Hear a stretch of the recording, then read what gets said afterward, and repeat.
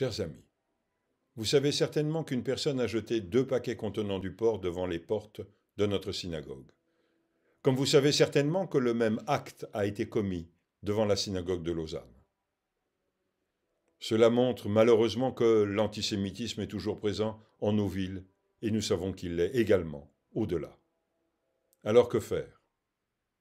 Il faut se rappeler de notre histoire et de ce qu'elle a charrié. Mais il faut aussi se rappeler que nous sommes ici présents grâce à la solidarité et à la résilience.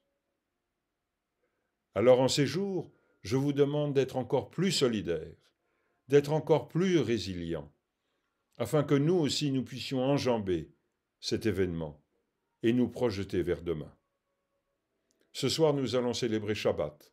Ce sera également le premier jour du mois de Hadar, et notre tradition dit que lorsque Hadar paraît, la joie émerge.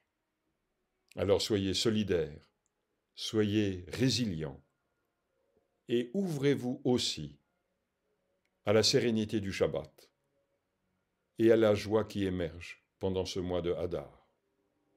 Prenez soin de vous et à bientôt.